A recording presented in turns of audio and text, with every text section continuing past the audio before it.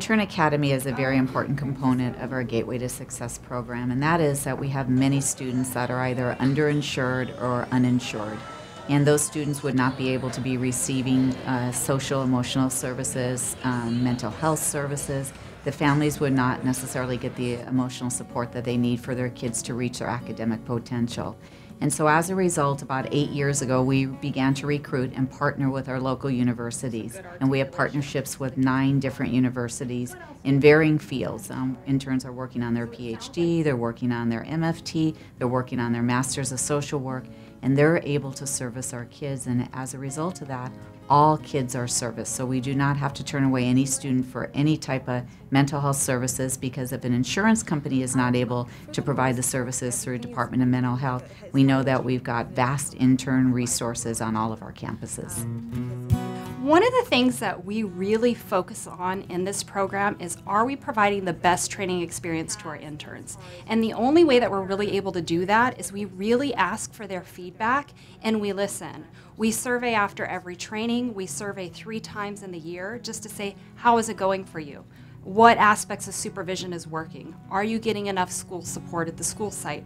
How is your preceptor? So that way we can constantly change the program to make sure that we are meeting their needs. Um, I was able to um, change the way that I approach counseling with that client.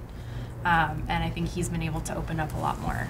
And um, so our counseling sessions have been more effective.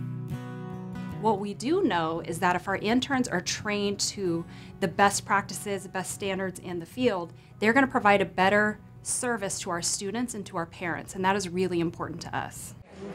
Working in the school setting, I think, has been a great experience because you get to provide those services at the school, really become part of the school um, with the students, and really able to provide that emotional support. You really get to see the impact that the, this has on the students' academic performance. One of the unique things we do is we actually get together once a week and we discuss some of the clients that they're seeing and we discuss some of the presenting problems that are there. A lot of our interns are required to bring in like a recording of the session that they may have. And so it really gives them an opportunity to kind of um, hear their strengths because a lot of times when they're interns, they might feel that they're not doing a good job. So it really allows everybody to kind of give positive feedback to them.